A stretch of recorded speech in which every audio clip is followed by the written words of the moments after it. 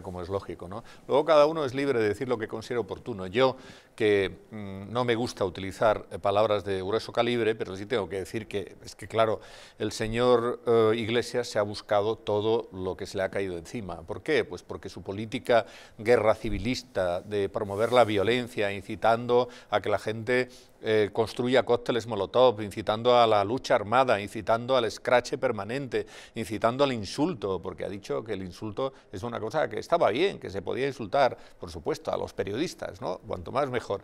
Bueno, pues él ha recogido el fruto de todas las barbaridades que ha sembrado. Dijo la presidenta de la Comunidad de Madrid que nació para, no sé exactamente cómo fue la, la, la expresión, pero en fin, que nació para el mal y que, y que es lo que ha estado haciendo, el mal, y es verdad, es que eh, difícilmente con el discurso del señor eh, Iglesias se puede pensar que efectivamente nació para otra cosa, porque era la, izquierda más rancia, más eh, pasada de moda, más stalinista, más brutal, más violenta. Y todo eso al final, pues claro, sí, hay alguna gente hay alguna gente pues muy, muy escorada a la izquierda que efectivamente puede estar en ese discurso, pero al final te quedas con esa gente nada más, no progresas, no van más allá y, llega el señor Errejón, que pertenecía a su mismo partido y que se peleó con él, y al final saca pues muchos más escaños que él mismo, ¿no?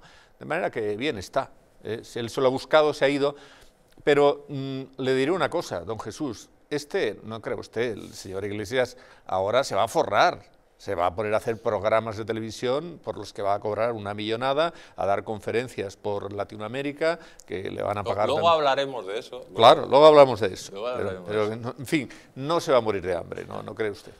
Don Fernando.